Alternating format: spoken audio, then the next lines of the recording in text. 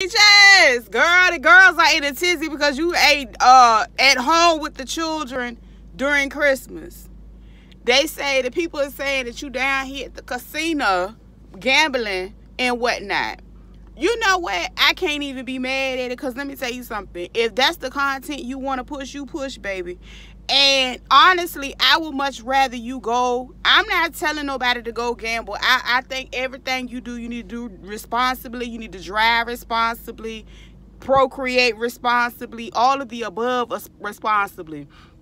But what I'm going to say is, I'd rather you go ahead and run your gambling bag up and focus on that instead of having these cheering all on this internet, especially, you know, yeah. So I ain't mad. Y'all go ahead and drag her for being down at the casino because at least she ain't got them kids up here that don't want to be online.